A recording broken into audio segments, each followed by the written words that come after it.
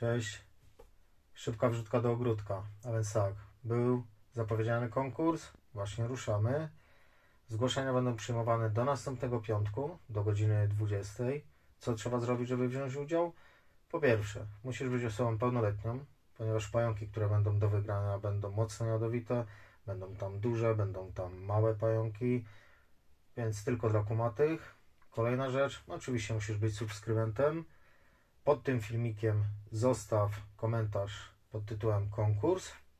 Pajączki, zgodnie z obietnicą, do wygrania za około 500 plus.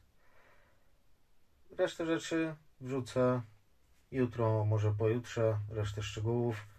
A i Domin, ty nie bierzesz udziału. Pozdro.